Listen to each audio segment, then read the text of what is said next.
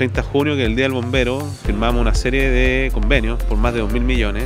Y en este caso particular, este convenio busca eh, financiar el diseño del cuartel de Altos del Laja eh, y que justamente va a abordar para 8.000 familias eh, y con eso se consolida ¿cierto?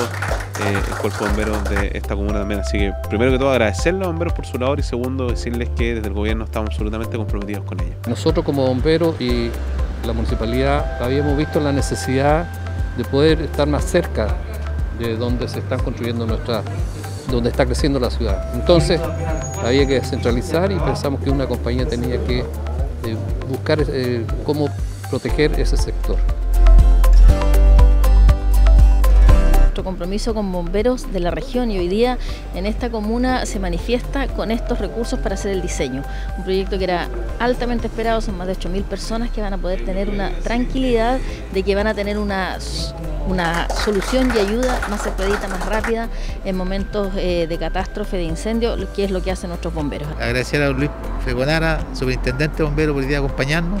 Eh, es con una persona que íbamos trabajando junto al concejal Serra y también bomberos por mucho tiempo en la comuna, por mejorar las condiciones de infraestructura de bomberos y, este es un sueño, como decía, de muchos años que la comunidad de Laja está esperando y este es el primer paso, ¿no cierto?, para poder lograr eh, que Alto del Laja eh, pueda contar con un cuartel de bomberos y así mejorar las condiciones también de vida y de seguridad de nuestros habitantes.